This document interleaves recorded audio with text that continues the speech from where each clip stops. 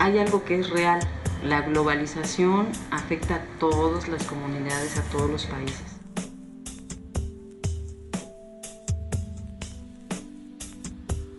Está devorando tradiciones, está devorando costumbres, está devorando personas. Este es un sistema que fractura todo lo que toca, que lo rompe en pedazos y que nos enseña que se vive para tener y que se vive para trabajar, en lugar de, de vivir para ser.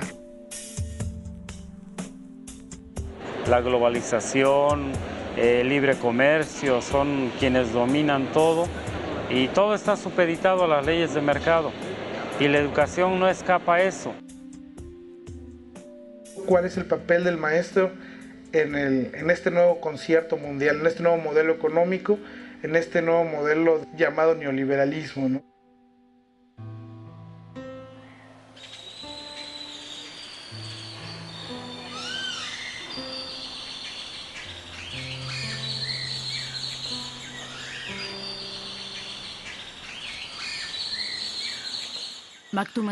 Es una de las 17 instituciones públicas conocidas como normales rurales, donde estudiantes de familias rurales de pocos ingresos se preparan para ser maestros en las escuelas públicas de México.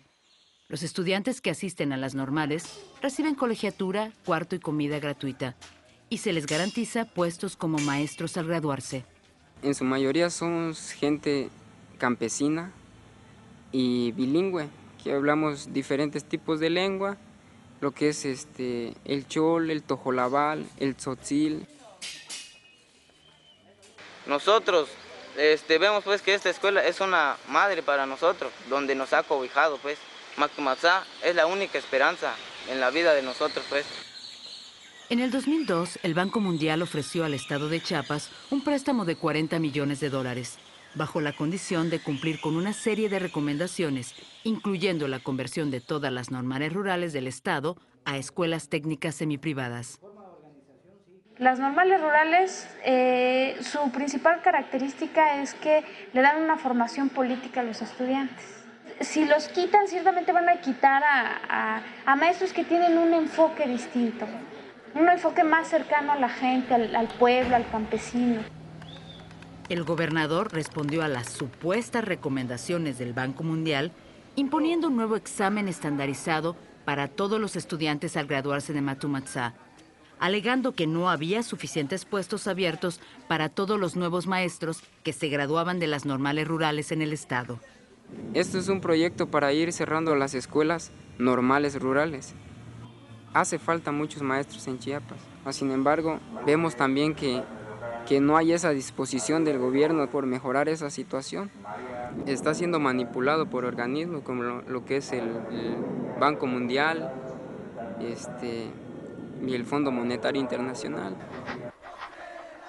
Determinados a defender el carácter público de Matumatzá, los estudiantes, sus padres y los profesores salieron a la calle e insistieron en negociaciones con las autoridades. Cuando el gobernador respondió con la cancelación del semestre, ocuparon la normal.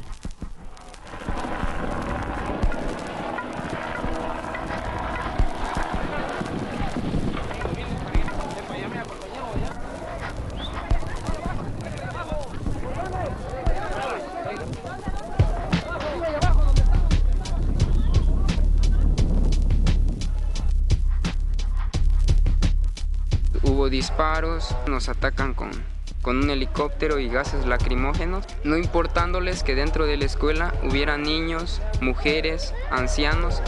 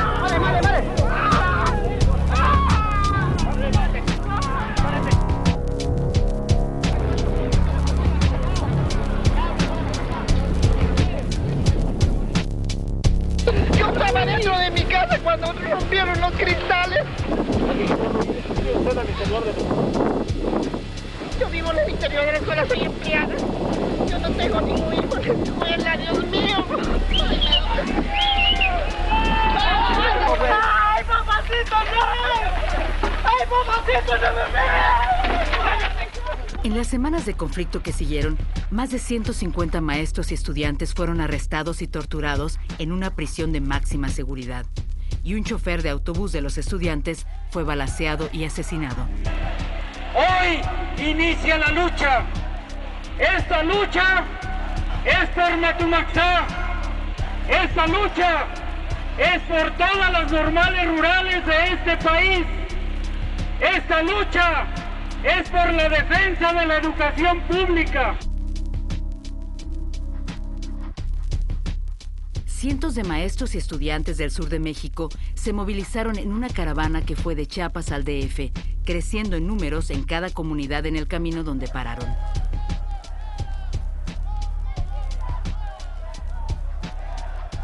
¿Sabes qué quieren? Quieren sirvientes. Quieren que la escuela solo sirva para capacitar mejor la fuerza de trabajo que explotan en las maquiladoras. Vamos a esperar un plazo de cinco minutos. Si en cinco minutos no hay una respuesta del gobierno, vamos a tener que entrar a este edificio para exigir ser atendidos. 20, 19, 18, 17, 16, 5, 4, 3, 2, 1.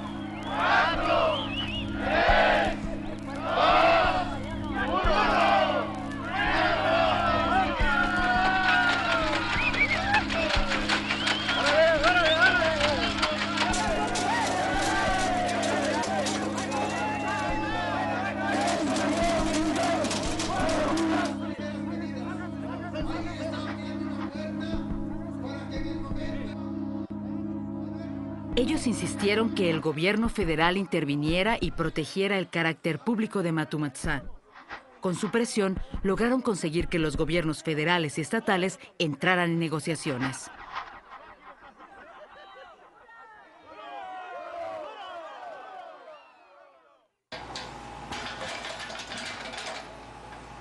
Pero al final, la visión de privatización del Banco Mundial fue la que prevaleció. Para la primavera del 2004, la escuela que por 46 años había servido a algunas de las comunidades más pobres del estado, era solamente una sombra de lo que había sido. Este año, para este ciclo, pues no quieren recibir más que 40 alumnos nada más, cuando llega una demanda de alrededor de 1.500 y 2.000 personas. Todas menos unas pocas aulas habían sido derrumbadas, forzando a los estudiantes sin ingresos a conseguir su propio cuarto y comida o abandonar sus estudios. Y una agencia privada de examinaciones había empezado a imponer exámenes estandarizados a todos los estudiantes al graduarse.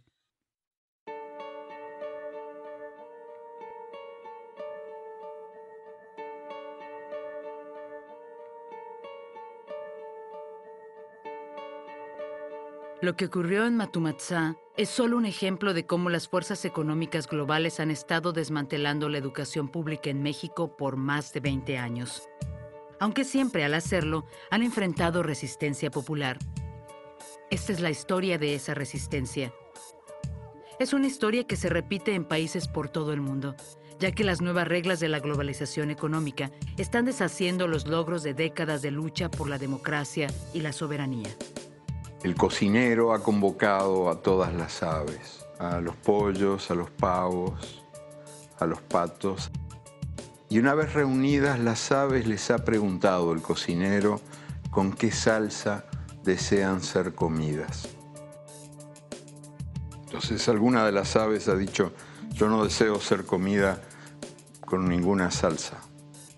Y el cocinero le ha advertido que eso está fuera de la cuestión. O sea, tenemos ahora la libertad de elegir la salsa con la que seremos comidos dentro de ciertos Esta es una dictadura disfrazada de democracia, donde se nos cuenta a todos los países que tenemos igualdad de derechos, pero en realidad no tenemos más que el derecho de obedecer a los poquitos países que mandan. se va empeñando la circunstancia política de México a las condiciones del Fondo Monetario Internacional y del Banco Mundial, entonces el sentido de la educación toma otro rumbo. El comercio sin duda promueve la formación de capital humano. Capital humano. Capital humano. Capital humano. The World Bank estimates that if all public education now were privatized, it would be close to a $4 trillion industry a year, okay? There's a lot of money to be made. Desde la Revolución Mexicana de 1910, el artículo tercero de la Constitución mexicana ha garantizado a todos los mexicanos el derecho a una educación gratuita y laica. Pero las reformas impuestas por el Banco Mundial el Fondo Monetario Internacional y el Tratado de Libre Comercio de Norteamérica gradualmente han perjudicado ese derecho.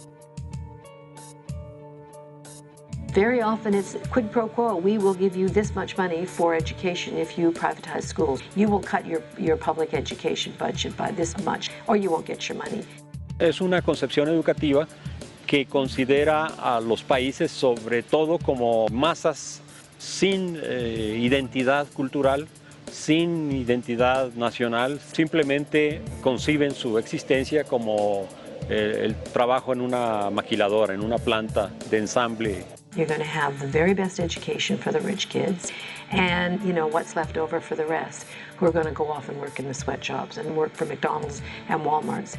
Education is no longer a mechanism to build up social participation or to build a democracy within each country. It's supposed to be a mechanism that um, sorts uh, the labor force and um, reduces education to a, uh, a commodity. Y si nosotros no tenemos conciencia de que la globalización, el neoliberalismo está golpeando a todas las familias del mundo, nosotros como docentes tenemos esa obligación moral, política y social de transformar esas circunstancias. Mayo del 2003. Cientos de maestros de escuelas públicas ocupan las casetas de cobro en todas las carreteras que entran y salen del DF, dejando a los conductores pasar gratis. El día de hoy estamos haciendo una protesta por el rescate de la educación pública, por la no privatización.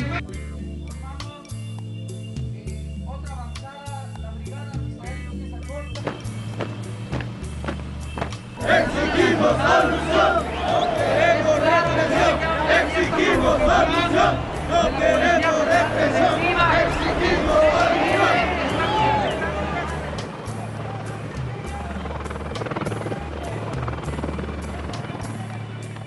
No podemos permitir pues, que nos afecten a millones de habitantes, ¿no? No se va. Da- Denos, denos cinco minutos. sí. Es que me dieron tres minutos. Ah, bueno, mire, mire, mire, resolución. cinco minutos, cinco minutos. Ahora, Cinco minutos. No, es- no estamos afectando a la gente. Estamos, no estamos bloqueando incluso la vialidad.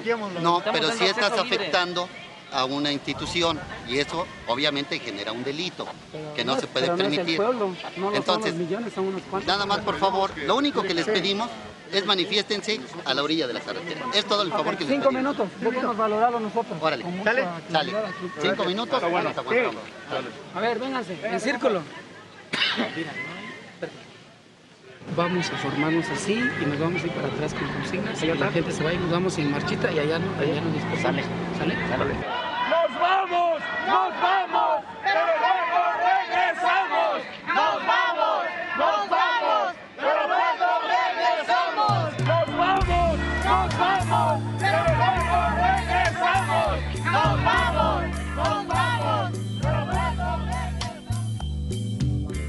Mayo del 2004. Más de 30.000 maestros establecen plantones en las calles y plazas públicas de Oaxaca y el DF.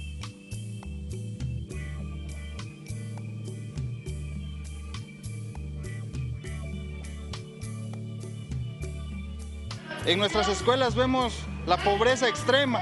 No tenemos aulas, material didáctico y bueno, sobre todo el hecho de la gran desnutrición que existe en nuestros alumnos. Entonces no, no hay dinero para educación, no hay dinero para alumnos, no hay dinero para, para equipar las escuelas, pero sí hay para los diputados, que nada más ganan por ir a dormirse ahí en la legislatura. Le hemos planteado una serie de demandas libros de texto gratuito, desayunos escolares, mejores escuelas. En las mañanas soy maestro y en las tardes me convierto en taxista. No han vivido lo que nosotros hemos vivido, no han visto lo que nosotros hemos visto y creo que no es justo que estemos callados. Aunque estos actos de resistencia son una respuesta a condiciones relativamente nuevas, impuestas por fuerzas globales económicas y políticas, tienen sus raíces en una lucha popular que existió años antes de que la globalización económica fuera nombrada como tal en una lucha que surgió en los estados sureños de Chiapas y Tabasco, donde a fines de los 70 los maestros rurales empezaron a organizar una resistencia popular y no violenta a décadas de corrupción sindical y a las condiciones pésimas que enfrentaban los maestros y los estudiantes en las escuelas y comunidades en el sur de México. En diciembre de 1979 se declararon como la Coordinadora Nacional de Trabajadores de la Educación, la CENTE, una corriente democrática dentro del Sindicato Nacional de Maestros, usando marchas, huelgas y acción directa para insistir en negociaciones con las autoridades. Muchos de los primeros líderes del movimiento eran maestros que se habían graduado de normales como Matu También se incorporaron maestros indígenas de las montañas de Oaxaca y maestros del DF muchos de ellos sobrevivientes de la represión mortal que los movimientos estudiantiles sufrieron en el año 68 y en el 71 a manos del gobierno. Entonces, si al principio teníamos el problema de pagos, alguien se contrataba y, sus pagos no le salían en varios meses. Inmediatamente se incorporó el problema de aumento salarial, ¿no? y en dos, tres días también de manera muy rápida el asunto de la democracia sindical. La corrupción sindical que existía a todo nivel y por todo México era un obstáculo para los maestros que querían cambiar sus circunstancias. Los que causaban problemas arriesgaban no solo sus trabajos, sino también sus vidas. Las maestras hablaban de la humillación que sentían ellas de verse en la necesidad de eh, ofrecer favores sexuales a los eh, inspectores o directores con tal de poder eh, tener un cambio de plaza, obtener una plaza adicional. Entonces los maestros están respondiendo a una serie de prácticas que hacen comprensible el surgimiento de la Coordinadora Nacional de Trabajadores de la Educación. En 1982, una crisis masiva de la deuda externa devastó la economía de México Ahora más que nunca, la política económica global estaba en gran parte determinando el destino del sistema de educación pública en el país. Pero la crisis solo echó leña al fuego del movimiento magisterial democrático. Menos de tres años después de su comienzo, el movimiento ya contaba con 100.000 maestros en más de cinco estados, y dos estados habían logrado democratizar sus secciones. Fue sorprendente yo creo que fue sorprendente para nosotros mismos y para el Estado y para todo el mundo y para el pueblo. Fue sorprendente lo que sucedió así como, como una llamarada así que cunde rápidamente, ¿no?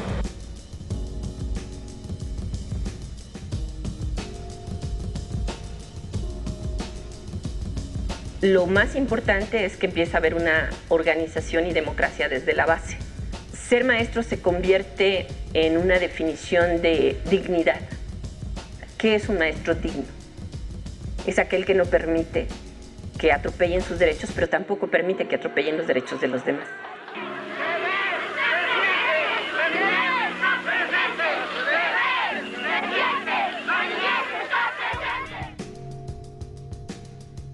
El movimiento al principio eh, se vio por la sociedad como un ejemplo a seguir. De hecho, en muchos pueblos siguieron el ejemplo del magisterio para resolver muchos problemas, o para enfrentarlos por lo menos. Muchos problemas no están resueltos, pero la gente ya no se queda callada tan fácilmente, ¿no?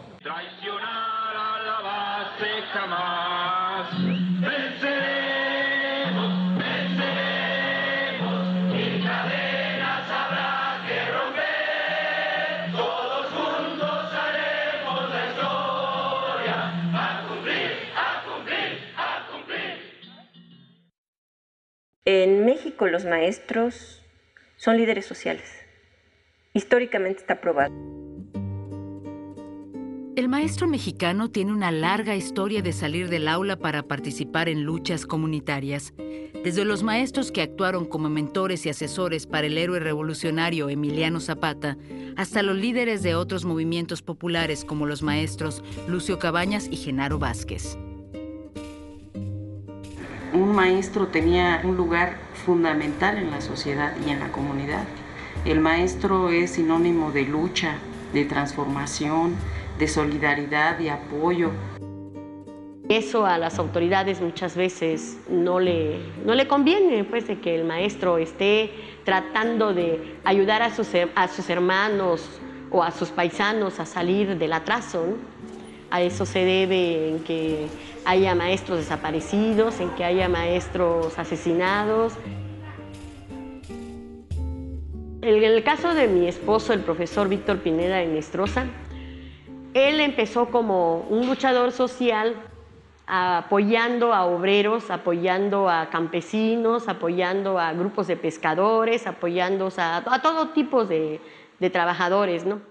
Un 11 de julio de 1978, que cuando él iba transitando por la calle Allende, de repente lo detienen y lo desaparecen. Desde esa fecha, del 11 de julio de 78 hasta hoy en día, pues ya no supimos el profesor Víctor Pineda Enestrosa.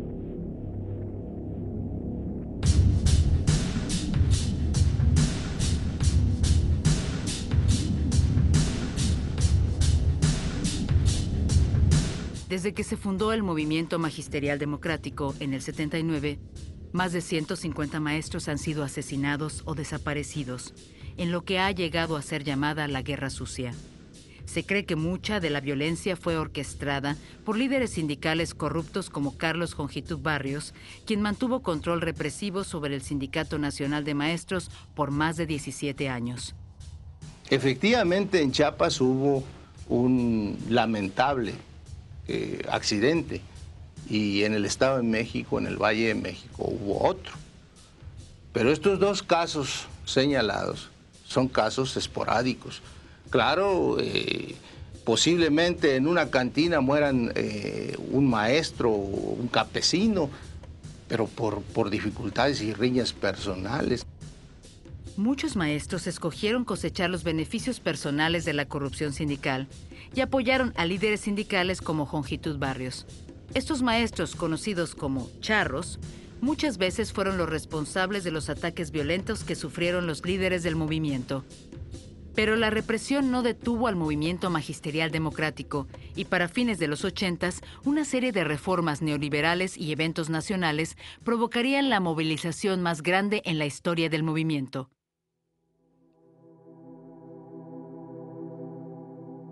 México ya estaba gastando 60% de su presupuesto federal para pagar su deuda externa, cuando en el 85 un terremoto masivo sacudió al DF matando 10.000 personas y causando 4.000 millones de dólares en daños.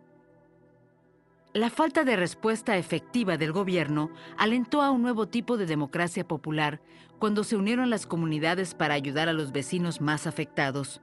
Hubo protestas espontáneas para insistir que el gobierno dejara de pagar la deuda externa hasta haber reparado los daños del sismo. Que la nación me lo demande. El descontento público todavía estaba en auge tres años después, cuando un fraude electoral entregó la presidencia a Carlos Salinas, un candidato con fuertes lealtades al modelo neoliberal y a intereses económicos estadounidenses. El partido de Salinas, el PRI, había disfrutado de 70 años de poder y corrupción sin interrupción, gracias en gran parte al apoyo de sectores dominantes del sindicato de maestros. ¡Escuela por escuela! ¡Zona por zona! El maestro exige a diario democracia y más salario.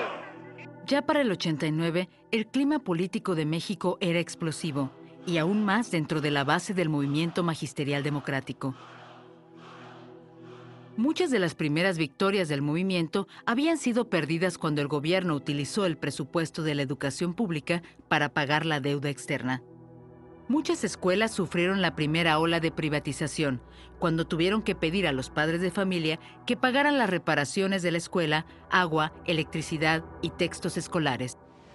En esa época entonces de una profunda escasez de recursos. El Banco Mundial y el Fondo Monetario Internacional fueron muy eficaces para establecer una ideología, la de la calidad, la excelencia, que se permitió a los gobiernos la gran excusa para decir, a usted no lo admito a la educación porque no tiene la calidad suficiente.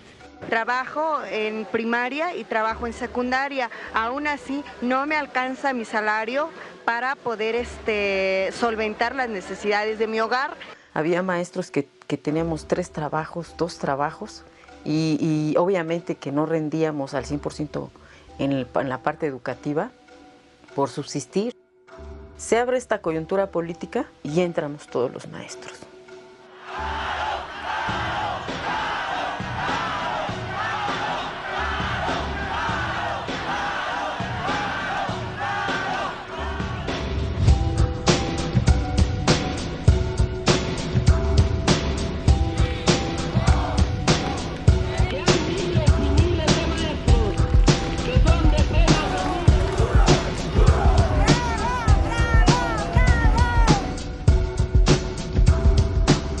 En abril del 89, miles de maestros hicieron una huelga, exigiendo la expulsión del sindicato de Jongitud Barrios y un aumento salarial del 100%. Al cabo de unos cuantos días, más de 500 mil maestros estaban en la calle, con profesores y estudiantes de varias universidades públicas que se unieron a la huelga en solidaridad con los maestros.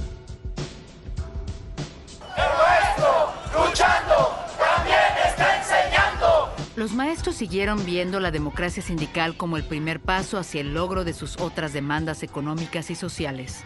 De nada serviría que se nos ofreciera hasta el mil por ciento de aumento salarial si no se abren esos espacios de democratización del centro. No hay otra posición. Continuamos en paro y duro hasta la victoria. Yo pienso que el apoyo a los maestros pues es nuestra obligación como padres de familia porque todos padecemos el mismo problema. Pero yo pienso que el gobierno ha desviado, digamos, la atención del pueblo por ponerla al otro lado, allá con los güeros, con el Fondo Monetario Internacional. Entonces él se ha dedicado más a cumplir con sus obligaciones que contrajo con ellos y olvida las necesidades de su pueblo. Por eso estoy yo con el comité, formo parte del comité de apoyo a los maestros. Longitud Barrio se mantuvo firme por dos semanas, pero el 23 de abril él entregó al movimiento magisterial democrático un éxito tremendo cuando dimitió a su puesto en el sindicato. El presidente mexicano Carlos Salinas había escogido como sucesora a Jongitud Barrios a una maestra joven llamada Elba Esther Gordillo Morales. Mi respeto, mi reconocimiento a la combatividad del magisterio de Oaxaca. Unidad, unidad, sin sindical. Oaxaca, presente en la lucha de Pero mientras los maestros celebraban la caída de Jongitud Barrios, un nuevo y mucho más poderoso enemigo estaba emergiendo al norte de la frontera.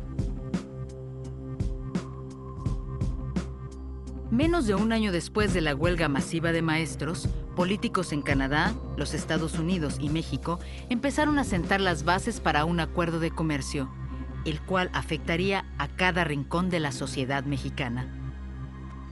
El primero de enero de 1994, el Tratado de Libre Comercio entró en vigor. En los años subsecuentes, más de un millón de campesinos mexicanos fueron desplazados por el maíz barato de los Estados Unidos que inundó al mercado mexicano. El sueldo mínimo bajó el 20% y el número de maquiladoras en la frontera con los Estados Unidos se dobló. Los pequeños negocios mexicanos lucharon por competir con corporaciones transnacionales y para el año 2000, Walmart se había vuelto la tienda minorista más grande de México.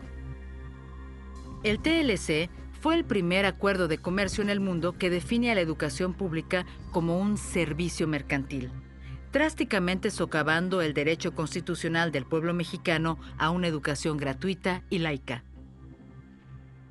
I believe that NAFTA has worked. Uh, it's helped America. It's helped Mexico. It's helped Canada. And I think without trade, there's going to be it's going to be hard for some people to find opportunity. México es un apasionado promotor de libre comercio. Seis años después de que se aprobó el TLC, México celebró elecciones nacionales que por fin acabaron con 70 años de mando del PRI. El presidente entrante Vicente Fox fue proclamado como el gobierno del cambio. El pueblo mexicano tenía esperanzas de democracia, pero en vez de esto, su nuevo presidente, antes presidente de Coca-Cola México, gobernaba al país de manera parecida a como había manejado la corporación.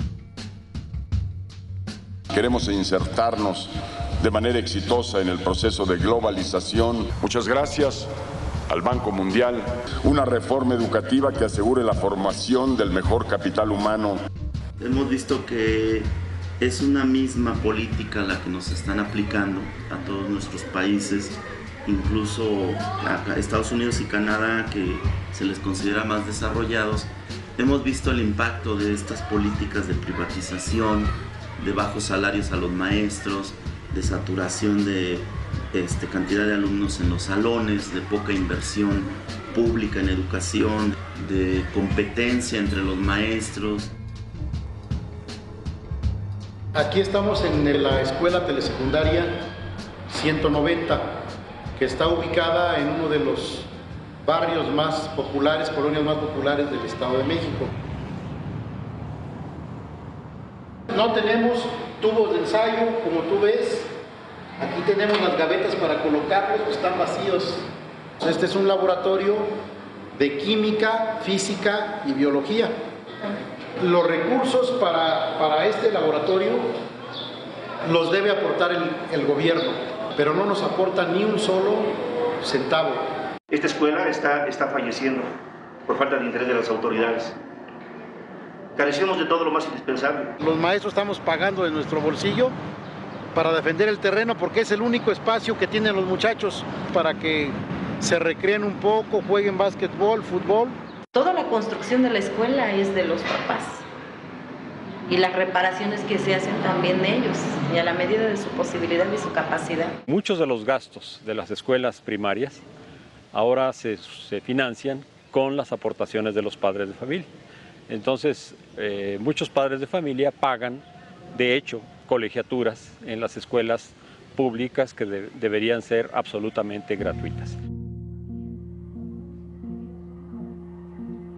En el 2001, el presidente mexicano Vicente Fox presentó su plan para escuelas de calidad, un programa en el cual las escuelas públicas reciben recursos adicionales si se comprometen a desarrollar estrategias para el mejoramiento académico. Un porcentaje de los fondos para el programa viene del sector privado.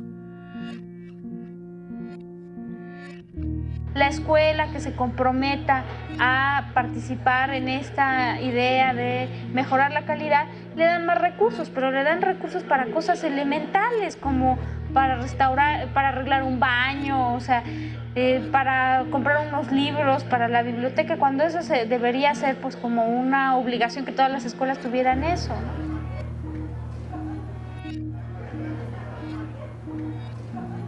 Nosotros no estamos de acuerdo con con que nuestra escuela sea del programa Escuelas de Calidad, porque ese es un pretexto del gobierno foxista de Fox para no dotar a las escuelas de todo lo que les hace falta. Se desobliga de una obligación que tiene. Y si nosotros entramos a ella, estaríamos en el juego con el gobierno. I think that defunding is in fact a strategy to privatize. If you defund it, then people say our schools are being wrecked. What shall we do? Well, we have to bring in the private sector. We bring in the private sector to design and administer the exact curriculum that the private sector needs, which is what the function of standardized testing is. Las escuelas que participan en el programa Escuelas de Calidad son escudriñadas con evaluaciones constantes, sometiendo a sus estudiantes a aún más pruebas estandarizadas que los estudiantes de otras escuelas. Sales mal en la evaluación, pues entonces se te dan menos recursos o no se te dan recursos. Las pruebas estandarizadas son relativamente nuevas en México, pero desde finales de los 90, los estudiantes que quieren estudiar después de los 15 años tienen que pasar una prueba estandarizada administrada por una agencia privada de examinaciones. En el año 2003, una niña de 15 años se suicidó después de reprobar el examen. Standardized testing is racist, class-based division uh, of the winners from losers. uh, and it's very, very much a very powerful tool of, of those who promote private education.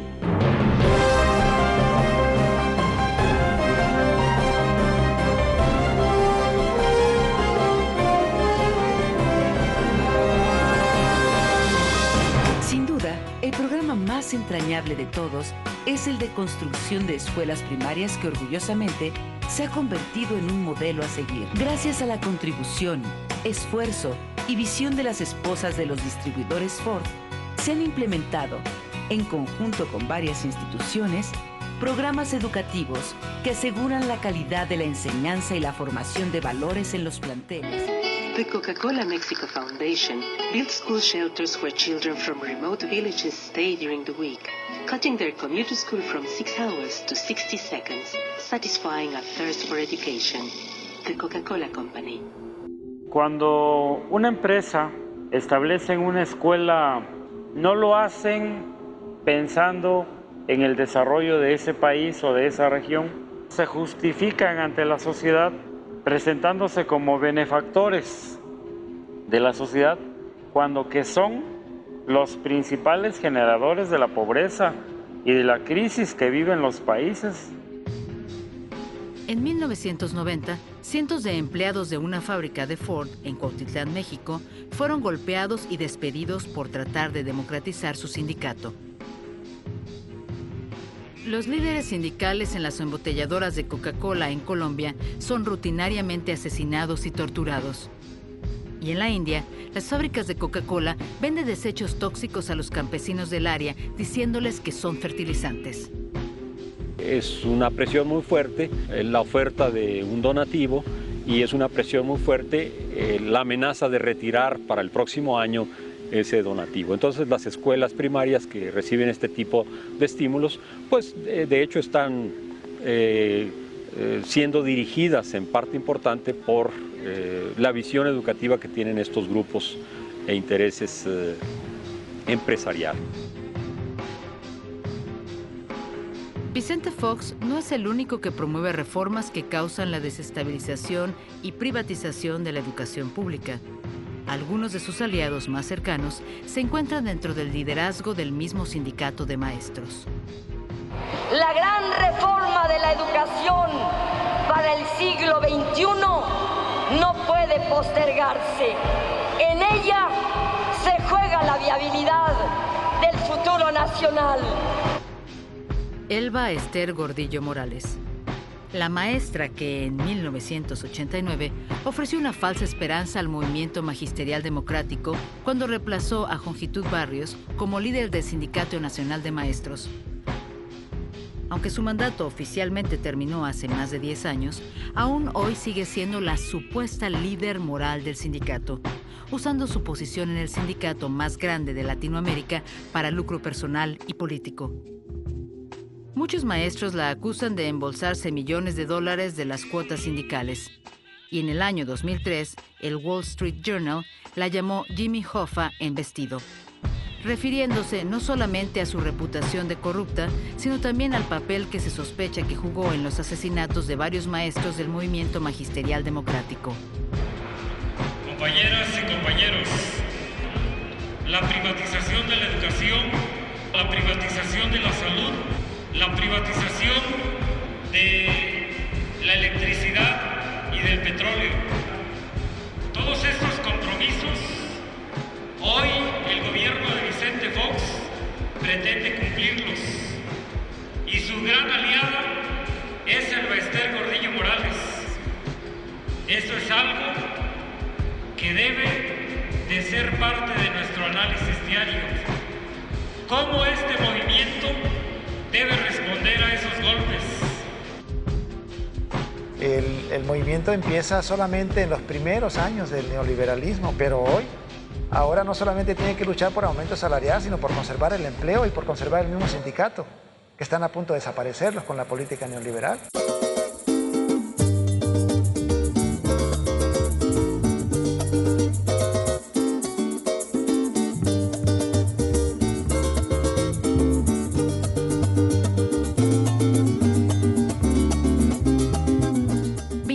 Años después de sus comienzos populares, el movimiento magisterial democrático sigue luchando para defender la educación pública. Pero como la economía global ha cambiado el rostro de México, los maestros también han cambiado su lista de demandas. Por lo menos dos veces al año, decenas de miles de maestros salen a la calle para exigir desayunos escolares y textos escolares gratuitos, para oponerse al programa de escuelas de calidad y la privatización del Seguro Social, y para insistir que Elba Esther Gordillo rinda cuentas por su larga historia de represión del movimiento. En el 2003, en el Día Nacional del Maestro, más de 50.000 maestros marcharon hasta Los Pinos, la casa del presidente, insistiendo en negociaciones con el presidente Vicente Fox. Pero al llegar, se encontraron con cientos de policías federales y aprendices militares vestidos de civiles. ¡Qué lástima de juventud! Te vendes por unas monedas. Mira al pueblo que sufre, igual que tus padres, igual que tu pueblo. ¿No eres mexicano? Defiende tu pueblo entonces. ¿Por qué defiende ese maldito de Fox? Ese que vende al país a diario, quitándole el pan a los pobres. ¿Cómo vamos a formar a México con la conciencia de ustedes que venden su pensamiento y sus ideales por unos cuantos pesos? ¡Qué bárbaro! La gente dice que debe haber negociación, movilización, negociación, movilización como no abría la puerta para sentarnos a platicar de manera seria, tuvimos que hacer varias movilizaciones.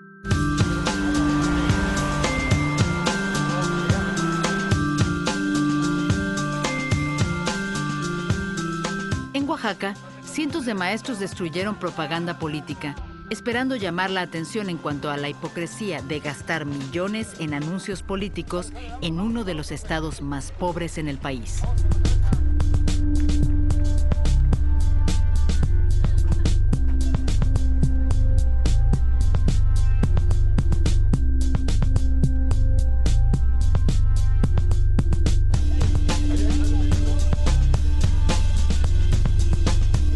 Acción, un grupo de maestros pasó la tarde de un sábado bloqueando el Sam's Club a la salida de la ciudad de Oaxaca, enfocándose en esta filial de Walmart para protestar cómo las grandes corporaciones extranjeras están afectando a los pequeños negocios mexicanos. Y en el centro del DF, cientos de maestros ocuparon las oficinas nacionales del Sindicato de Maestros, sacando a los charros y estableciendo un plantón que duró cinco meses. Este edificio es de todo el magisterio del país. Lo que queremos es una democratización de nuestros sindicatos. No queremos que se privatice la educación en México. Queremos que siga siendo la educación pública y accesible para todo el pueblo mexicano. Somos maestros, eh, somos trabajadores, pero buscamos el bienestar de todos. Es necesario luchar, la sociedad no puede continuar así y con nuestras marchas, con nuestras movilizaciones, estamos aportando nuestro granito de arena para la transformación de este país. Si no hubiera habido este movimiento magisterial, yo estoy convencida que hubiera avanzado más rápidamente el proceso de privatización de la educación. Pues la, la coordinadora sí ha frenado mucho esos procesos a través de la movilización. O sea, es una piedra en el zapato, no deja de ser una piedra en el zapato la coordinadora. Si no se hubiera hecho esa movilización, yo digo, la educación ahorita sería privada completamente, habría otras condiciones para los padres de familia, pero gracias a estos movimientos pues, se ha detenido y estamos en resistencia todavía.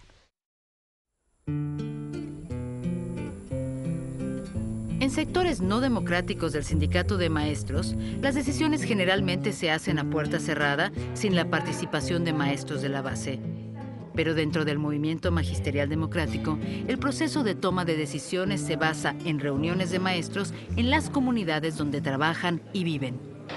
Está en función al asunto de la globalización del mundo entero. Aunque digan, bueno, el mundo, ¿qué me importa a mí? ¿Qué me importa a mí Alemania, Japón, Estados Unidos? Aquí la cuestión es el Fondo Monetario Internacional. El asunto que pretende el gobierno de privatizar la educación pues está en, está en la puerta.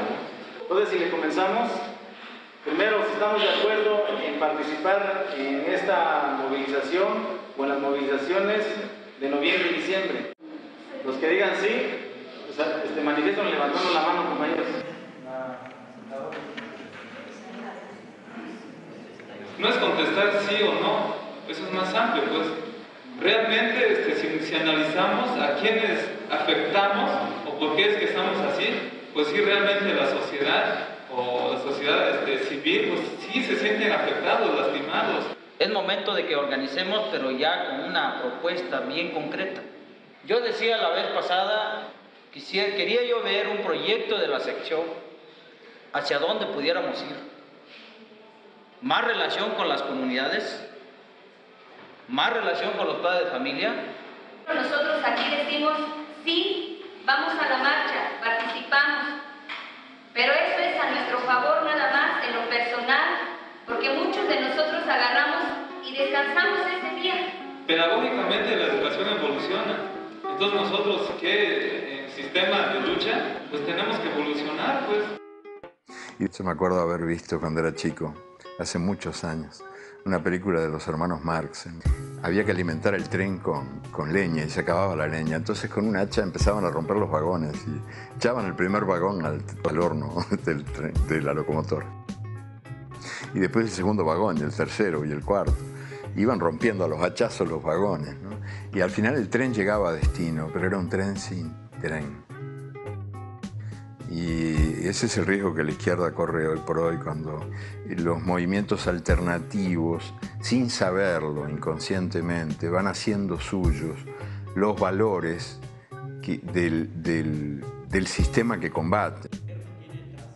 En 25 años de lucha, los maestros democráticos han aguantado los esfuerzos del sindicato y del gobierno de debilitar y dividir su movimiento. Pero en años recientes, más y más críticas han surgido desde dentro del movimiento y de las comunidades que antes apoyaban a los maestros. No podemos seguir con el mismo discurso, con las mismas tácticas, con la misma estrategia de hace 23 años. ¿No? El gobierno ya las cambió. El gobierno ya tiene cómo enfrentarnos. Y nosotros seguimos igual. Nos hace falta plantearnos qué es lo que está pasando, hacer una autocrítica a fondo y resurgir nuevamente con una propuesta alternativa para la sociedad. El, el, gran problema para nosotros es de que el movimiento magisterial en realidad lo que ha hecho es, es reproducir muchos de los viejos vicios que, que, ha tenido el sindicalismo en México. Se ha centrado mucho en, en la cuestión política, en la cuestión pedagógica, ahí es nuestro gran talón de Aquiles. Ya no se vale que el maestro democrático sea el primero que violente los derechos humanos de los niños en las aulas.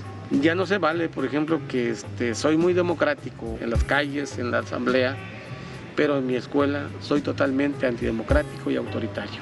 El magisterio está aislado, el magisterio está en una visión gremialista que no le permite entrar de lleno al trabajo en las comunidades.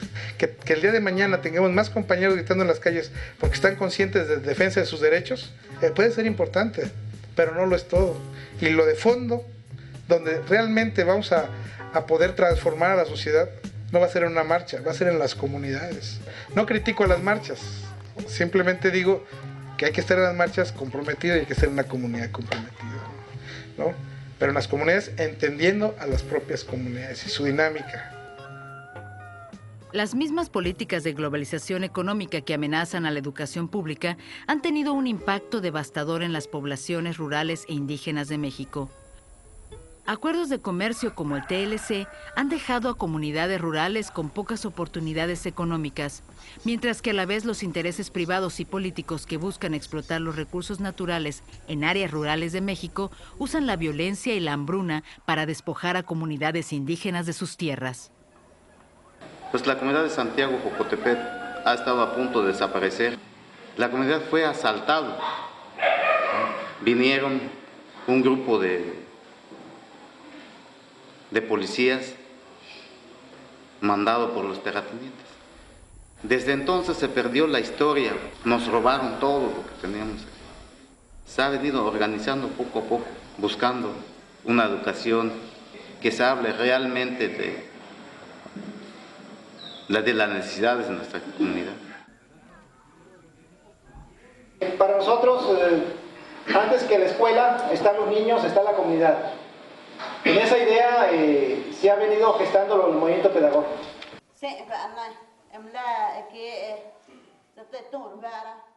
La coalición de maestros indígenas de Oaxaca existió años antes de ser fundado el movimiento magisterial democrático y ha participado en el movimiento desde 1980.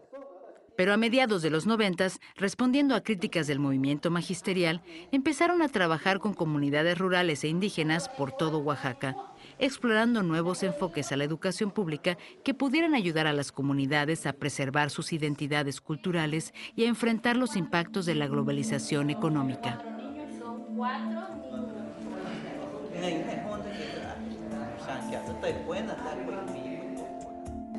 En septiembre del 2003, juntaron a padres, líderes comunitarios y maestros de 12 comunidades de Santiago Jocotepec, una región donde muchas comunidades hablan chinateco como primer idioma.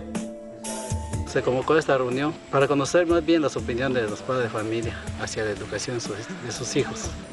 Pero un programa especialmente para los niños indígenas no, existe. Esa es la razón pues que nosotros pues buscamos esa este, alternativa, puede decir. En este encuentro de padres de familia y de maestro, pues la verdad es, este, ha habido un cambio. Yo la veo muy bien. Hay que, hay que ver, hay que trabajar, hay que buscar por dónde. Sí, así es.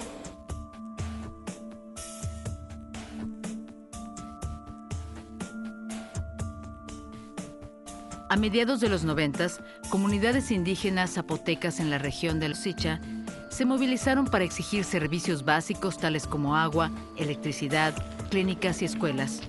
El gobierno respondió con una represión brutal, encarcelando a más de 100 miembros de la comunidad, muchos de ellos maestros, y acusándolos de ser miembros de un movimiento de resistencia armada, una acusación que la comunidad sigue negando. No hicieron nada malo, lo único que hicieron fue exigir, ya digo, lo que nos corresponde como mexicanos. También tenemos derecho a vivir bien. Y para ellos eso es algo ilegal. El gobierno dice, no, pues es ilegal. Tú no debes de exigir, tú debes de pedir, pero con buen modo, ¿no? si hay una lucha del pueblo por, por mejores condiciones de vida, pues nuestra obligación es eh, también participar. Y eso fue lo que hicimos y, por eso este, nos agarraron. Los maestros y líderes comunitarios arrestados en Los Sicha recibieron condenas de entre 4 y 40 años en prisiones de máxima seguridad. Las alianzas corruptas entre políticos, terratenientes y paramilitares han mantenido un clima de violencia y miedo en la región desde ese conflicto inicial. Los que no se han fugado de sus comunidades seguido reciben visitas de la muerte, ya sea por medio de la bala de un paramilitar, la enfermedad curable o la malnutrición. Ya cuando regresé de, de estar en la cárcel llego y encuentro totalmente diferente. Eh, eh, los niños están, hay, un enorme rezago educativo ante el temor también de, ser reprimido. Y entonces hubo una enorme deserción de alumnos.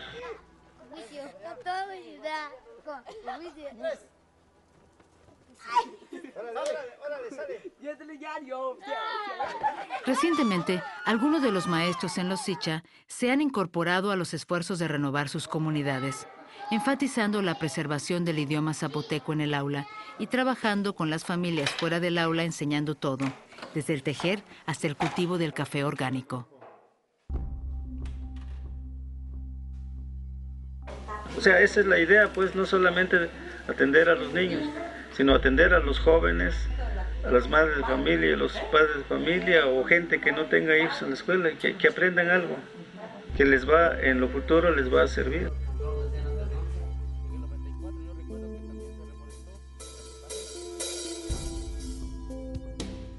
Yo digo que no preocuparnos por hacer una educación acorde con las condiciones y necesidades del pueblo es hacerle el juego al imperio también Entonces, aunque en las volantes digamos no a la privatización, no al neoliberalismo, en nuestro trabajo educativo estamos muchas veces contribuyendo a que eso avance. Pero que si le damos la vueltecita, podemos también como maestros eh, ganarnos el apoyo de la comunidad, no para nuestra lucha, sino para apoyar las luchas de los pueblos. Porque en el fondo debe ser eso. Si nosotros solamente quisiéramos el apoyo para la lucha magisterial, como a veces se ha entendido, ahí nos estancamos. porque no revertimos el papel? Tenemos que ir a aprender de ellos si queremos eh, apoyar sus procesos naturales de desarrollo, si queremos apoyar eh, sus procesos de autonomía, si queremos que la educación no sea algo impuesto, sino algo que propicie que desarrollen su propia cultura. Hay un viejo proverbio que, que dice que mejor que, que dar pescado es enseñar a pescar. Pero ¿qué pasa si venden el río? ¿Y qué pasa si envenenan el río? ¿Y de qué sirve saber pescar si el dueño del río no nos deja? O sea, la educación está inevitablemente, fatalmente vinculada con todos los aspectos de, la vida. Culto no es el que más conocimientos acumula. Culto es el que mejor aprende a entenderse con los demás. Culto es el que mejor aprende a recrear un mundo donde el prójimo sea una promesa y no donde yo pueda reconocer en otro a alguien con quien puedo comulgar, con quien tengo cosas para compartir, a alguien que tiene algo que decirme, que vale la pena escuchar. Hay una globalización económica, una globalización política neoliberal. También debe haber una globalización de solidaridad. The answer is in fact a collective one. And a collective one means the mobilization of social solidarity across borders. And that's what teachers are increasingly doing. They're mobilizing across borders. Creo que es muy importante también romper esas barreras, pues si estamos enfrentando a un mismo monstruo, pero tal vez con muchas cabezas, tenemos que confluir en, en un mismo torrente.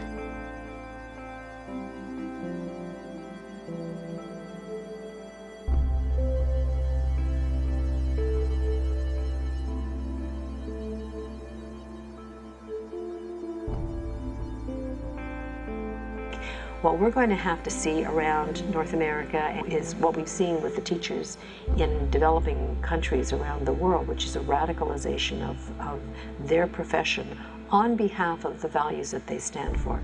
And if they don't fight for public education, I guess the question is, who will?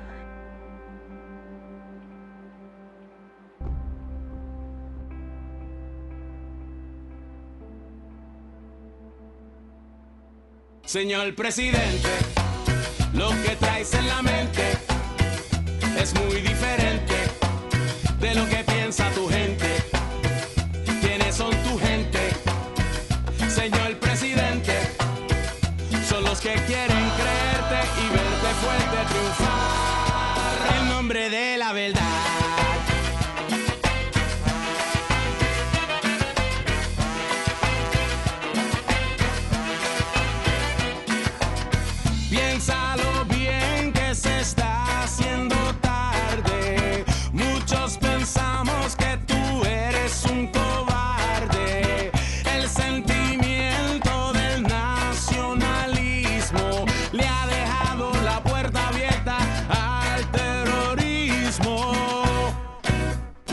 Señor presidente, lo que traes en la mente es muy diferente de lo que piensa tu gente.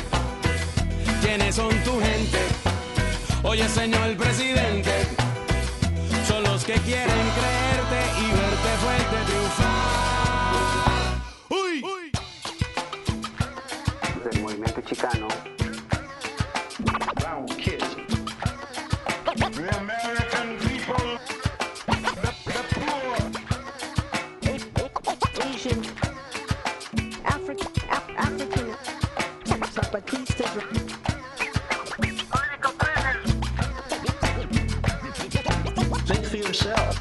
¿Será que no quiere pensar en lo que pudiera pasar si la mayoría en la nación empieza a gritar revolución?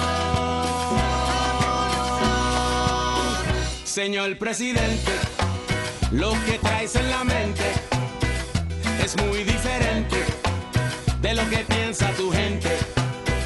¿Quiénes son tu gente?